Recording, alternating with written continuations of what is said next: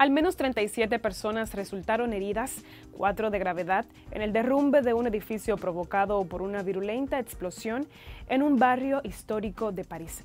La información completa con la agencia AFP. El número de heridos por el derrumbe de un edificio en París aumentó a 37. Cuatro de ellos están graves. Además, las autoridades buscaban el miércoles a dos desaparecidos bajo los escombros. El edificio se hallaba en la calle Saint-Jacques, cerca de un antiguo hospital militar y albergaba una escuela privada de moda, la Paris American Academy. Varios residentes afirmaron haber escuchado una fuerte explosión antes del incendio y posterior derrumbe.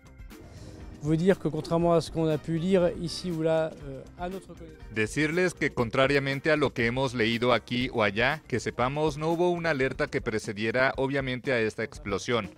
Es un edificio que obviamente era un edificio administrativo de una escuela americana. Podemos decir que ante la tragedia de este evento, lamentablemente, por supuesto, hay muchos heridos. También hay escuelas atrás, en particular una escuela de música donde solían estar los niños. Pero como era miércoles por la tarde no estaban presentes, lo que sin duda evitó dramas adicionales. Eviter des drames. Según informaron las autoridades de la quinta circunscripción de París, el edificio se derrumbó tras un incendio provocado por una fuga de gas. Puedes ampliar estas y otras informaciones entrando a nuestro portal web noticiasrnn.com y todas nuestras redes sociales como Noticias RNN.